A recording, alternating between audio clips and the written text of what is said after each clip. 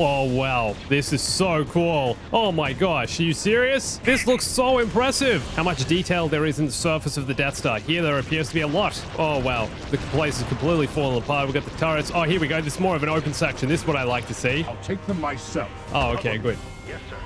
Oh my gosh. Wow. Can we actually go and find Darth Vader and shoot him down before we get to the trench part? the S-foils. When you boost in the X-Wing. Oh, that's him. That's him, right? Oh my gosh. He's there. Yes, here we go. All right, we're going to stay on him 100%. Let's go, Vader. Oh, okay. So every time I get him low on health, he flies out of bounds. Here we go. We've got him again this time for sure. I sent a torpedo his way. He's still flying. He has infinite health. How is this possible? No wonder Anakin was such a good pilot. He literally couldn't be killed. If you enjoyed this clip, consider watching the full video here. Come check out the main channel.